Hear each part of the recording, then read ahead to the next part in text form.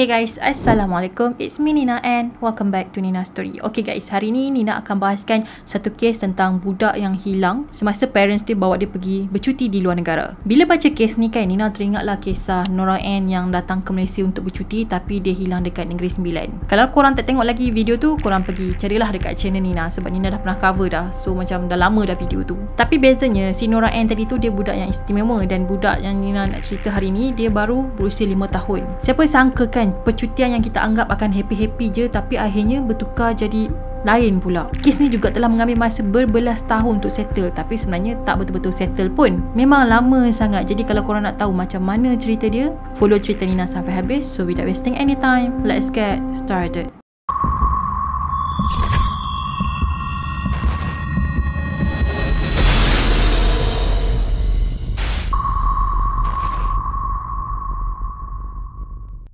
Mangsa dalam kejadian ini adalah Madeline McCann yang lahir pada tahun 2003. Ayah dia pula bernama Gary dan mak dia pula bernama Kate McCann dan diorang berdua ni adalah doktor. Diorang telah kenal pada tahun 1993 dan 5 tahun kemudian diorang decide nak kahwin iaitu pada tahun 1998. Sampailah pada tahun 2003, Madeline telah dilahirkan dan Madeline ni adalah anak sulung diorang. Selepas 2 tahun kemudian, Kate ni beranak lagi. So diorang ni dapat dua orang anak kembar iaitu lelaki dan perempuan. Cerita ni bermula apabila family tadi tu telah decide untuk untuk bercuti ke Portugal pada 28 April tahun 2007. Masa tu family ni pergi bercuti ke Portugal dengan tujuh orang lagi kawan dorang yang merupakan geng-geng doktor juga. So kawan-kawan dorang ni pun bawa jugalah family dorang. So percutian dorang kat Portugal ni macam apa family day lagi tu. So dorang pun telah memilih untuk bercuti dekat Paraya Dalu sebab dekat sini sesuai untuk bercuti dengan family. Lepas tu dorang pun booklah satu apartment ni untuk dorang tinggal bersama. Tapi kawan-kawan Kate dengan Gary ni book bilik lain lah cuma dorang ni duduk satu apartment yang sama. So pada hari dorang sampai sampai dekat Portugal tu kan. Parents Madeline telah dinner dekat sebuah restoran tapas sejauh 50 meter daripada bilik dorang dan pada masa tu anak-anak dorang ni tengah tidur dekat bilik. Sampailah pada 3 Mac tahun 2007 kejadian yang tak disangka-sangka telah pun terjadi. Pada pagi tu kan dalam pukul 7.30 pagi Madeline tanya dekat mak dia yang dorang ni pergi mana masa dia bangun tidur. Mak ayah dah tak ada dekat situ. Biasalah budak-budak kan kalau dia bangun tidur tengok-tengok mak ayah dia tak ada. Lepas tu duduk pula tempat yang dia tak biasa memang dia menangis lah kan. Jadi mak ayah dia pun decide lah untuk membuat reminder untuk untuk pergi check anak orang setiap kali setengah jam. Bila dia orang keluar daripada apartment ataupun keluar pergi makan ke apa-apalah so setiap setengah jam Gary ataupun Katie akan pergi check anak orang. Lepas tu orang akan biarkan pintu bilik orang ni tak berkunci. So setiap 30 minit Gary ataupun Kate ni akan balik ke bilik orang lah untuk check keadaan anak-anak orang. So itulah rutin orang sampailah si anak orang ni yang Madeline hilang. Dalam pukul 5 ke 6 petang macam tu, family ni pun baliklah ke bilik dan anak-anak orang ni telah get ready lah untuk ditidurkan. Pukul 7 malam, couple tadi tu pun tidurkanlah anak-anak orang dengan menyajikan bedtime story. Bila anak-anak orang ni dah tidur semua kan, Kate dengan Gary pun keluarlah tinggalkan bilik orang dan pergi ke tapas restaurant dengan kawan kawan-kawan orang so diorang nak dinner dekat situ. Lepas tu dalam pukul 9 malam macam tu Gary ni balik ke bilik untuk check keadaan anak-anak diorang masa dia balik ke bilik tu kan dia perasan yang pintu bilik diorang ni macam beralih sikit. Ha, tak sama macam diorang tinggalkan bilik tu pada awal-awal. Tapi bila dia masuk ke bilik dia check keadaan anak dia anak dia tidur nyenyak je tak ada apa masalah dan dia pun patah balik ke tapas restoran tadi. Pukul 9 suku macam tu kawan diorang yang bernama Jane balik ke bilik untuk check keadaan anak dia pula. Masa ni lah dia ternampak ada seorang lelaki yang tengah dukung anak perempuan yang berusia dalam 3 ke 4 4 tahun tapi dia tak fikir apa-apa pun pada masa tu. Dalam pukul 9.30 malam macam tu pula kawan diorang ni offer lah untuk check anak Gary dengan Kate ni sebab dia kata dia nak pergi check anak dia juga. Kebetulan bilik diorang ni duduk sebelah-sebelah. So dia kata tak apalah korang duduk sini aku pergi check. Lagipun aku nak check anak aku so aku boleh check anak korang juga. Sampailah pada pukul 10 malam pula turn si Kate ni pula untuk pergi check keadaan anak diorang. Dan dia pun baliklah ke bilik. Masa dia sampai dekat bilik ni pintu bilik dia memang dah terbuka luas dan dia perasan macam ada angin yang datang daripada bilik dia. Bila dia masuk je dalam bilik tu dia dah nampak tingkat bilik dia tu dah terbuka dan langsir pun macam dah terselak luas. Lepas tu bila dia tengok anak dia okey yang kembar ni ada tapi si Madeline hilang. Dia pun carilah si Madeline ni dekat dapur, dekat dalam almari, dekat dalam tandas tapi tak ada. So dalam keadaan yang dia dah panik, kelang kabut tu kan dia pun patah balik ke restoran tadi dan beritahu dekat orang semua yang Madeline dah hilang. Keadaan pun jadi kelam kabut dan semua staff resort tadi tu telah diminta untuk mencari Madeline. Dalam pukul 11 malam, polis pun sampai dekat resort tadi untuk ambil keterangan si Kate dan juga Gary. Esok pagi tu, polis telah melancarkan operasi mencari Madeline secara penuh. So, diorang fokus untuk cari dekat kawasan apartmen dulu. Kok-kok lah budak tu menyorok ke sebab dia takut ke apa kan. Sebab yelah, bila dia bangun, mak ayah dia tak ada kan. Jadi kemungkinan budak tu cari mak dia and then sesat ke apa ke. Awal siasatan pihak polis Portugal, dia orang tak jumpa apa-apa unsur jenayah macam pecah masuk ke ataupun ada barang-barang berharga hilang. Tak ada. So polis pun assume lah kata okay ni bukan kes culik tapi mak dan ayah dia yakin yang anak diorang ni sebenarnya dah pun kena culik. So parents Madeline ni memang tak puas hati lah bila polis kata ni bukan kes culik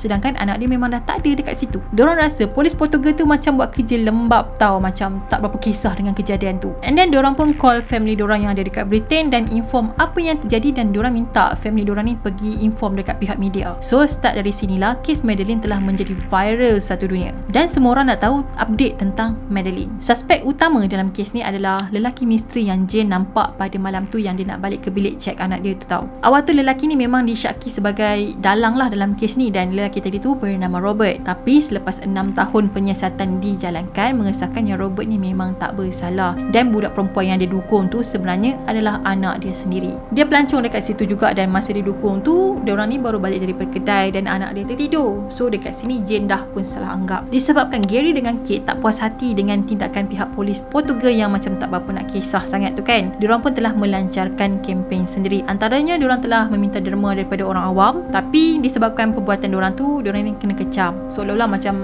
orang kata apa? Uh, take advantage gitu. And then parents dia juga telah membuat laman web untuk mencari ataupun menjejaki di mana Madeline dan diorang ni dapat macam-macam message tentang kes Madeline ni lah.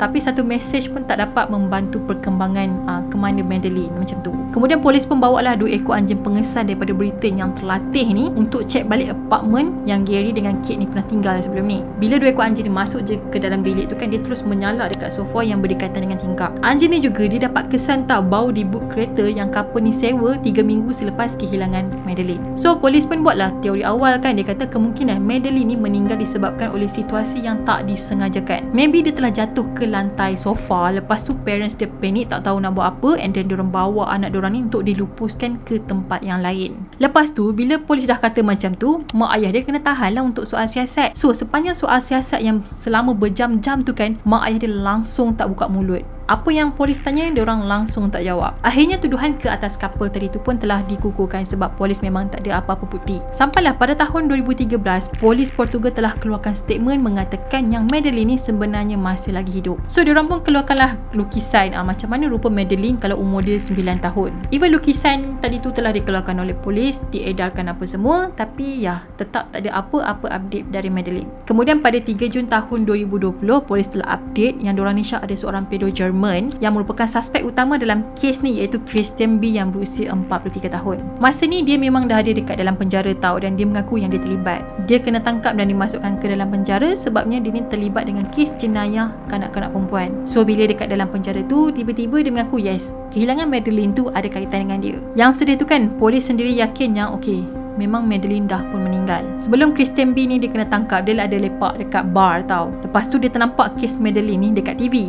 Lepas tu dia cakap lah dekat seorang lelaki yang ada dekat situ juga, dia kata yang dia terlibat dalam kes tu. Lepas tu dia tunjuk video dekat lelaki tu yang dia tengah uh, rogol seorang perempuan American tourist dekat Portugal pada tahun 2005. Ih, disgusting betul lah. Dia record benda tu and then dia tunjuk dekat strangers tu tau. So lelaki tadi tu pun buatlah report dekat polis Jerman dan akhirnya Christian B pun kena tangkap. Tapi pada masa tu diorang tak tahu lagi tau yang Christian B ni terlibat dengan kes Madeline. Lepas tu polis pun update dekat Kate dan juga Gary diorang kata yang kemungkinan besar anak diorang Madeline ni dah pun meninggal. Tapi polis ni tak beritahu dekat diorang apa sebab dia. Lepas kes ni mendapat liputan media, couple tadi tu telah mendapat surat daripada polis Jerman yang mengatakan anak diorang ni tak mati lagi sebenarnya. Sebab polis Portugal dah cari anak diorang ni dekat mana-mana tempat. Okey diorang kata ada kemungkinan ada mayat kat sini ke apa kan. Diorang pergi cari memang tak ada. So bila diorang pergi cari tu maksudnya mangsa tu bukan Madeline jadi Madeline tu still lagi hilang. Pada tahun 2017 dulu ada seorang saksi ni dia kata dia nampak Madeline dekat sebuah pasar raya. Dia kata dia memang yakin tu adalah Madeline. So sekarang ni Christian B memang telah disyaki sebagai suspek utama dalam kes ni. Cuma dia masih lagi belum didakwa atas kes Madeline.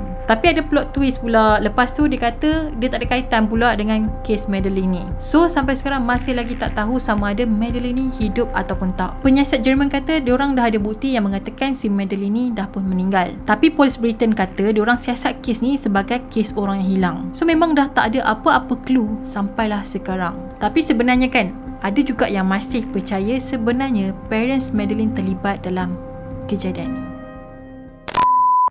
Alright guys, Nina nak tahu teori daripada korang pula. Adakah korang percaya yang memang mak ayah dia sendiri yang buat? Macam teori pertama polis tu katakan, okay, mak ayah dia telah sembunyikan mayat anak dia sendiri dengan melupuskan dia dekat tempat lain. Ataupun korang rasa memang si Kristen B ni yang terlibat.